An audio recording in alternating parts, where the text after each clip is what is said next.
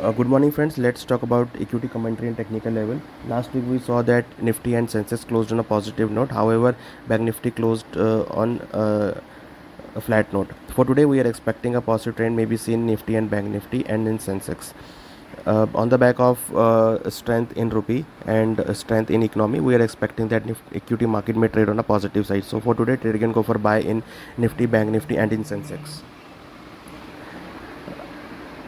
now let's go to the USD. Yesterday USD closed at 81.90. We are expecting a, a, positive trend in rupee and weakness in dollar. So trader can go for buy Nifty and Bank Nifty and Sensex for today and also uh, uh, sell in dollar. We hope that you will be benefited from this commentary. Thank you.